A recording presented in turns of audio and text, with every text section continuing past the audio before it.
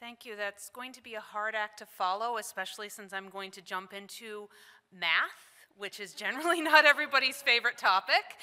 Um, I want to start by saying that this work that I'm presenting was done by Dr. Conghui Huang, who is right here up in the front. Uh, she's a postdoctoral researcher in my lab, and she is fabulous. My job is basically finding good people and pointing them at problems, getting out of their way. Um, so this, this work that she was doing, I, any other parents in the room can remember back in March 2020 when the schools shut down. That was hard. And one of the big debates that we've had throughout this pandemic has been, do kids spread COVID at schools? And if they do, how do we stop it? And there's been a lot of debate. There's been people looking at different ways of studying the issue. We went back to first principles and said, can we build a model that recreates what is happening in the schools and using the Shield Illinois data, which is some of the best data in the world as far as school transmission, can we understand where is COVID being transmitted among these kids and employees at schools?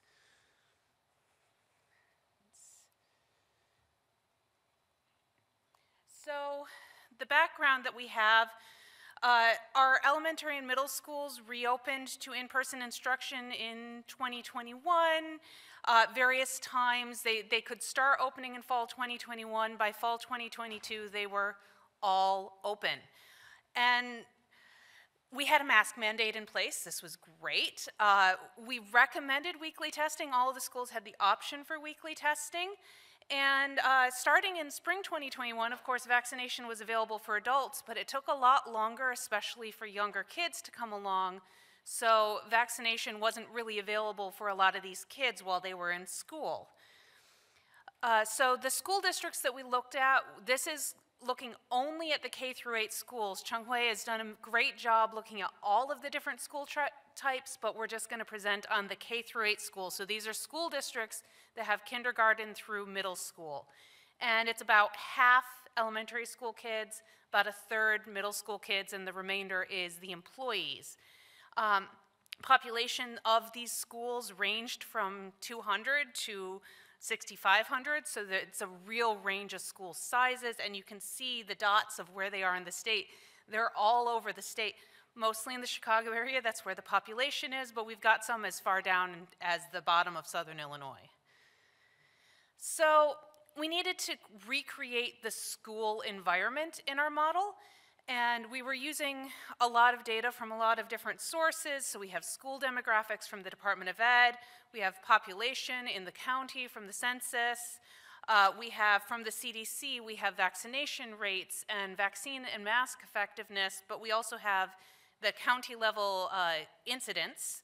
And then Shield Illinois gave us the testing data aggregated at the school level. So, so we had the testing data at the school level we knew employees and students, but we didn't know anything else about them. And then we had some data on mask adherence, but this is from the COVID-19 Trends and Impacts Survey, which is done in partnership with Facebook. It gets about a third of US adults. It does not have the kid data. So we know about how well adults at the county level are wearing their masks over time. And so we re recreated the school population. We have this little bubble with the uh, dashed line that is the school. And within the school, we have three different separate populations. You've got the elementary kids, the middle school kids, and the employees. Now, our data didn't separate out the elementary and middle school employees, so we just had employees as one group.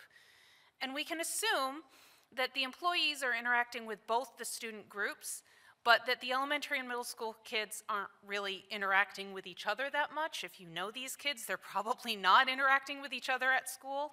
That would not be cool for the middle schoolers. So, so we're assuming that the, the students aren't interacting among their groups, they're just within their own group, but the employees can contact either group. But they also live in community. So these students are out there interacting in the community when they're outside of school, so there can be transmission outside of school.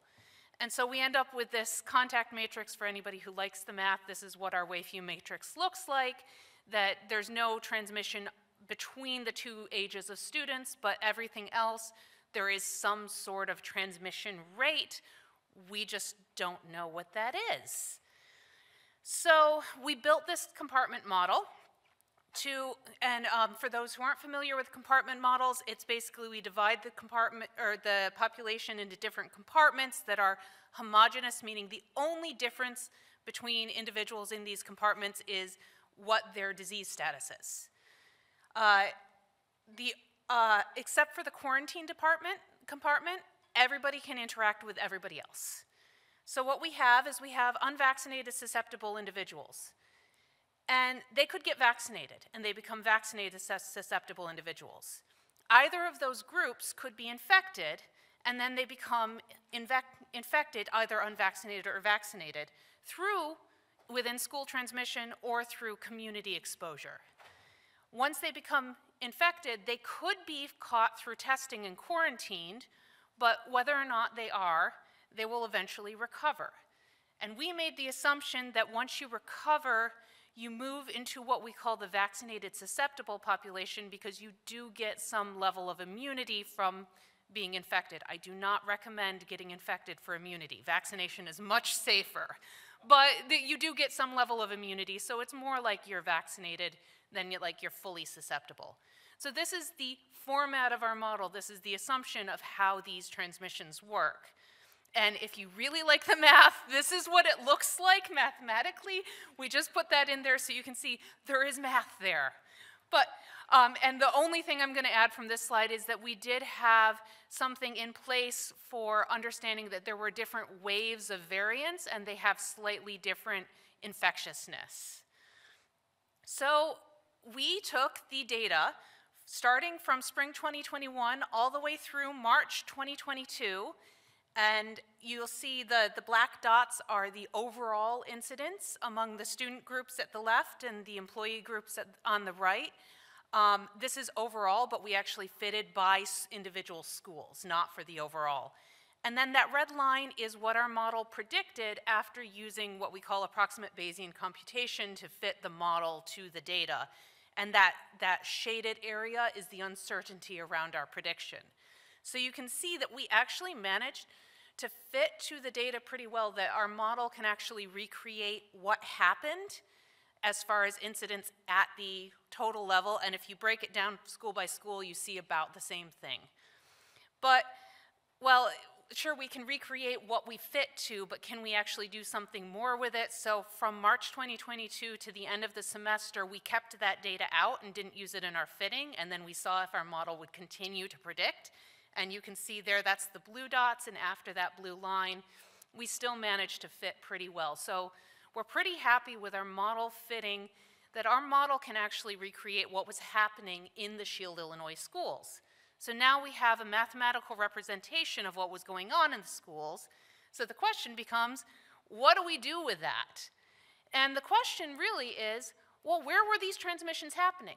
We're clearly recreating the transmissions, but where were they coming from? So we look at the fitted values for the different transmission rates.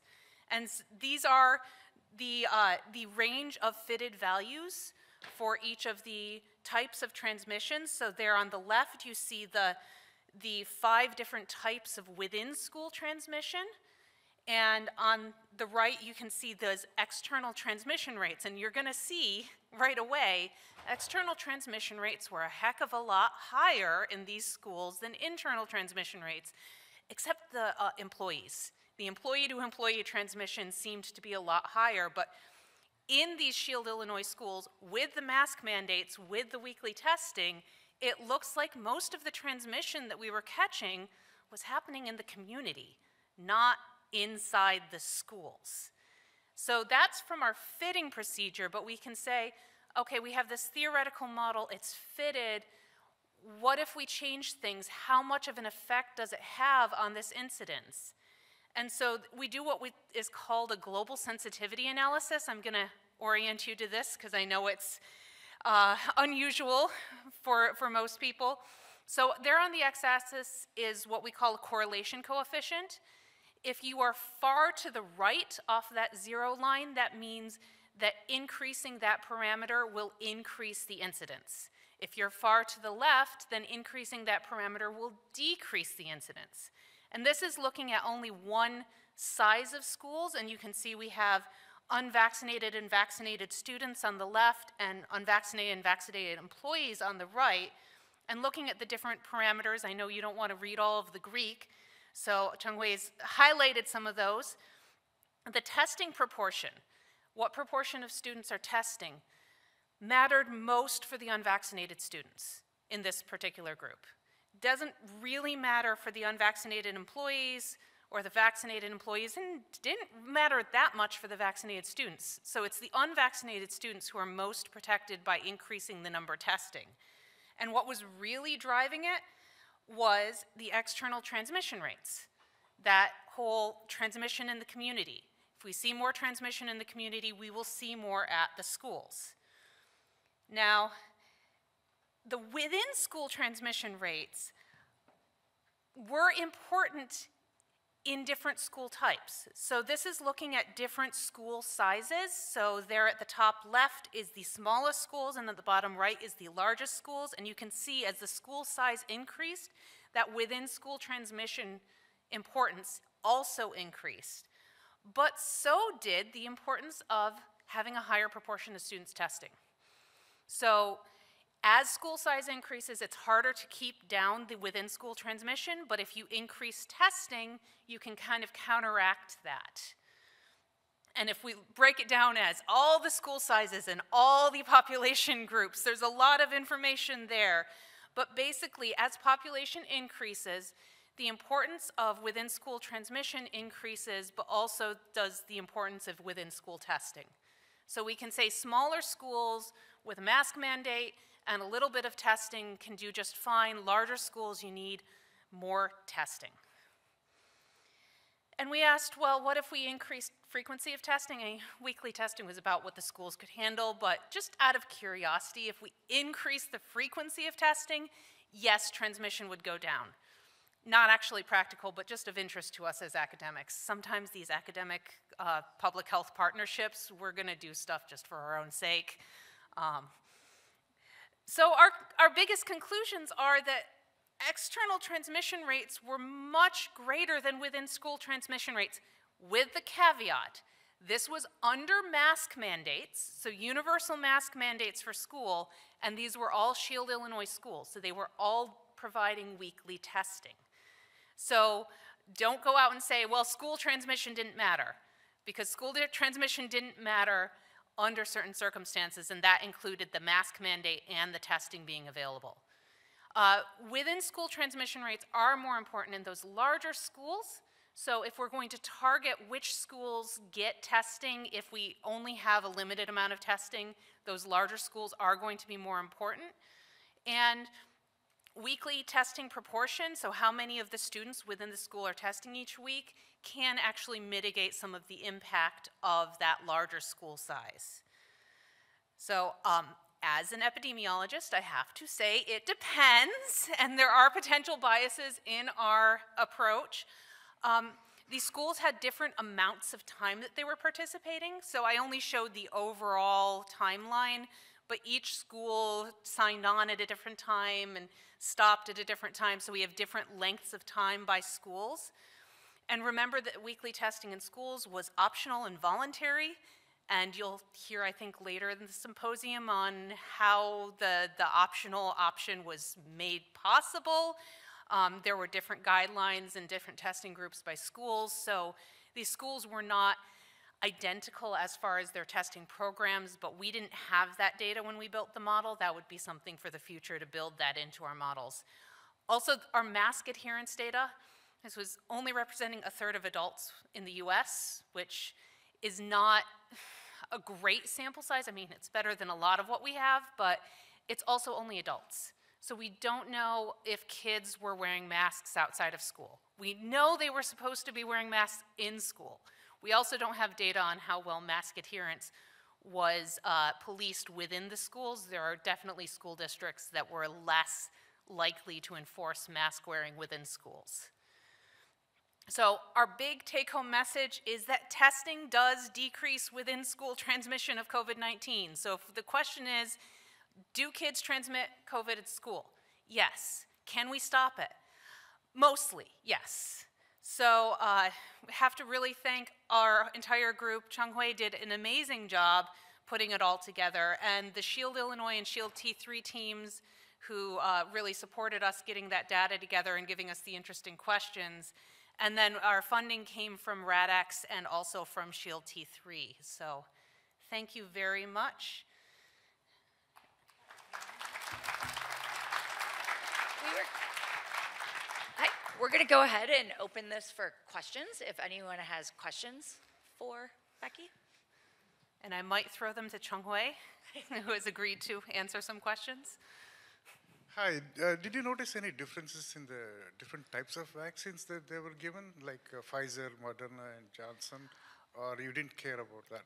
We didn't have that data. We just had overall vaccination rates. So we didn't actually have data on who was vaccinated in schools. We just knew what proportion of people within the county in the different age groups were vaccinated. Becky, I'm Pedro uh, from the UFI. So my question is about the exercise you presented, increasing uh, testing frequency. I understand it's an exercise, but my doubt is, is that based on the recommendation of a test per week, or is it based on the actual proportion of people doing one, one test per week? Because of the way that the model is structured, it's actually going to be increasing the proportion of testing because again, we didn't know who was testing. We only knew what proportion was testing. So if you increase from weekly to daily and you're randomly selecting people from the infected category to get tested, you're more likely to get more of them. That was one of our um, potential downsides is that we didn't know who was testing. We had only the aggregate data, how many tested and how many were positive. So we couldn't do what's called an agent-based model where we know which students are testing and which are not. All we had was, okay, we have a selection of these school testing. We didn't even know if it was the same students week to week. For your sensitivity analyses, the PRCCs, did you do this by wave also, or are these just average? I just wonder if maybe more frequent testing is more important when you have a more transmissible strain. So I was just curious. Yeah, so, so we did it by semester, actually. So, so we have, uh, the, the, if you saw, there were three bars for every parameter, and it was the three different semesters, which fairly align with the waves. So, so yeah, it, there wasn't a huge amount of difference among the semesters as far as the effect, although some things did come up in spring 2022 when we're getting into the, uh, that was Omicron, right? yeah, that, that was, that was, some things were becoming more important than when we're highly transmissible.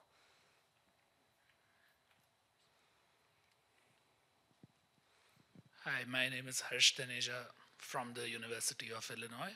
So my question is that I'm just can't help think that, you know, these schools are in very different counties and even very different neighborhoods within each county. So I mean, is there a way to think about how the general attitudes of populations that go to each of those schools or each of those school districts towards COVID, how do they factor into explaining some of this, you know? Yeah, that, that is a really good question. That's kind of what we were trying to get at with the mask adherence data because that was at the county level and mask adherence at the county level self-reported in adults might correlate with the amount of concern. But again, we didn't have data on how well, say, the schools were enforcing mask mandates within schools or what activities were still open. Some of that is out there, it's just we didn't have it within the scope of this project, and it's worth looking at.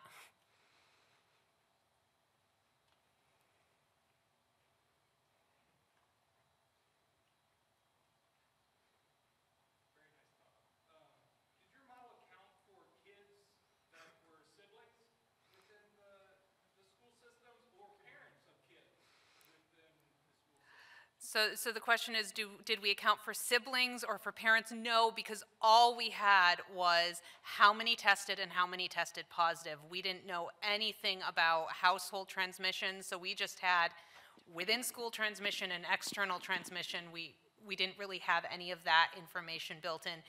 Uh, With modeling, you have to kind of make assumptions, and so that's where we were going based on what data we had. We would have loved to have built more, more complex models, but at some point, the complexity gets so high that what can we even say about what we're learning? So, but yeah, it would have been great to have, and, at an individual level, it would be wonderful to build all of that. That just gets into a little bit of privacy concerns about the data.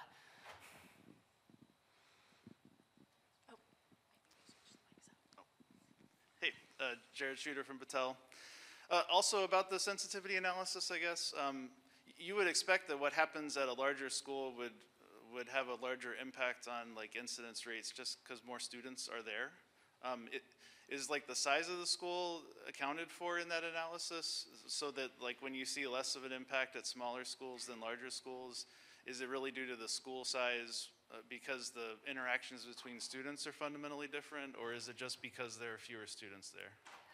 So uh, that is a good question. I think if I'm going to go with, based on my understanding of modeling theory, it's going to be uh, a lot to do with the number of students just present, and especially because if you have more introduction from the community, if you have a higher number of students getting infected and bringing it to school, there's going to be more transmission within the school. Whereas in a smaller community, you might have one kid per week bringing it from the outside, and you're less likely to get the transmission within the school. So it's kind of just a numbers game as far as school size. Okay, thanks.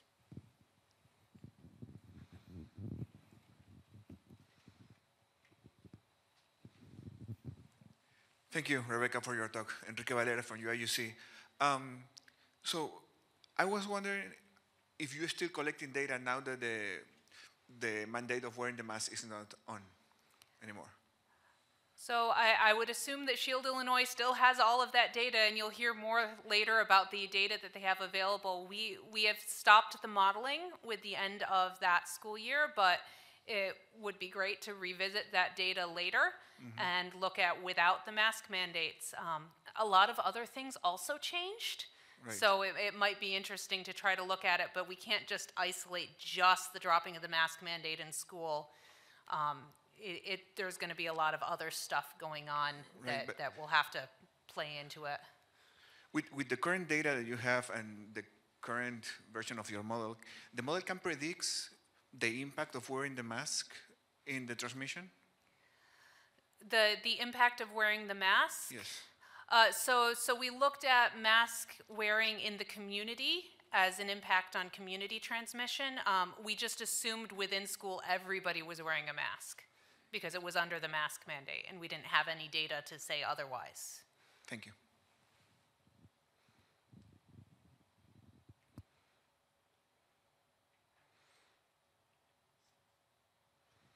For the larger schools, are you just increasing the number of people in your model, or are you changing anything about the interactions? I just wonder if the results are driven by larger class sizes, so people interacting more in their classes, or just kind of sheer numbers. I just was curious if you looked at that. Yeah, so, so we didn't have any information on any of that, but what we did was we fit the transmission rates at a school level. So the transmission fitting was at the school level. It was somewhat overall transmission fitting, but each, each individual school had their own transmission rates. Okay, so it's just kind of captured by the average transmission rate, and those tended to be higher in the bigger schools, which may be because of bigger class sizes or not. Yes. Okay.